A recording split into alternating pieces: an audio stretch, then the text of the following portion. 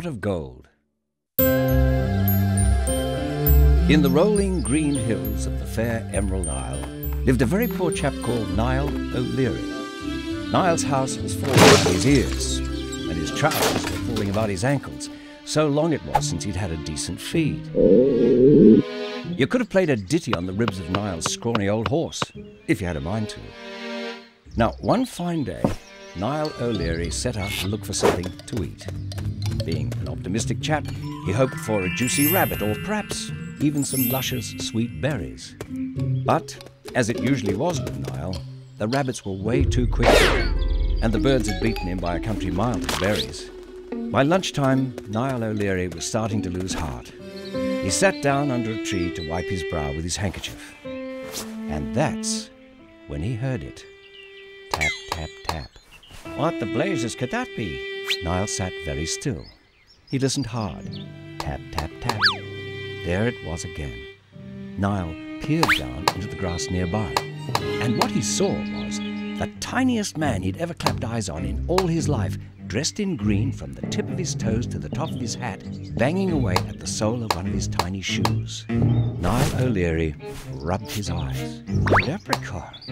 A real live leprechaun. Now, despite being poor, like all Irishmen, Niall knew two very important things about leprechauns. One was that they always had a pot of gold hidden close by, and two, if you caught them and squeezed them very, very hard, they had to tell you where it was. Quietly, Niall eased onto his feet and launched himself through the air. As his giant shadow fell across the grass, the tiny man looked up and took off, and Niall landed with a thud. The leprechaun scampered, and Niall O'Leary scampered right after him. They ran up the hill, they clambered across a river, they rattled through a startled farmer's barn, they ducked under a fence, Niall getting closer with every step until, gotcha! His scrawny fingers snapped tight around the leprechaun's waist. Take your hands off me, you, you great lump. The leprechaun wailed, but Niall O'Leary wouldn't let go. Not till the leprechaun told him where to find his pot of gold. If I could breathe, I could have some chance to be telling you. The leprechaun croaked. He promised that if Niall put him down, he'd reveal his secret. Niall smiled the biggest of smiles because he'd heard one other thing about leprechauns, and that was that they could never break their promises. So, ever so slowly, he lowered the tiny, indignant man to the ground.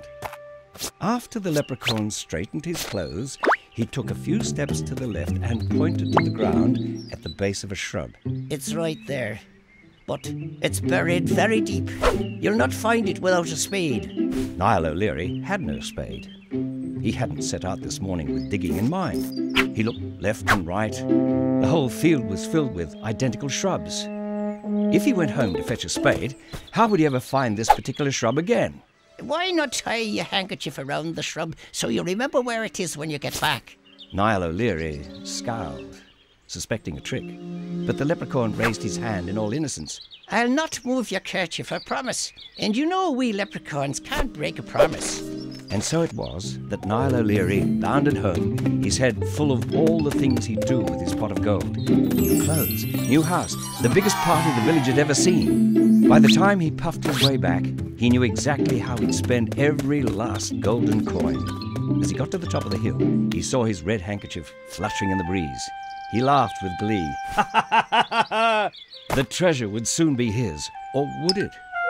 Nearby, he saw another red handkerchief tied around another shrub, then another, and another. The whole field was filled with fluttering red handkerchiefs tied around every shrub in sight. Niall's face fell in despair, and then across the breeze he heard the wicked laughter of a cheeky and very clever leprechaun running away into the distance.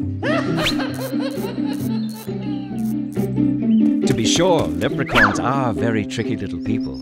But they're not entirely without heart, because even though Niall O'Leary didn't get his pot of gold, he did come to set up the biggest and best handkerchief store in the whole of Ireland.